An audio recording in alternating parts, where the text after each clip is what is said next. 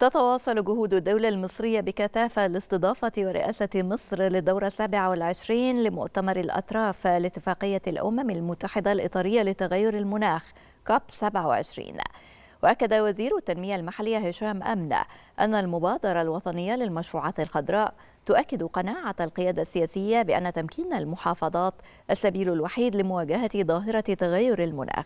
وأكد أمن أن المحافظات لها دور فعال في تحقيق أهداف التنمية المستدامة وتحسين نوعية الحياة.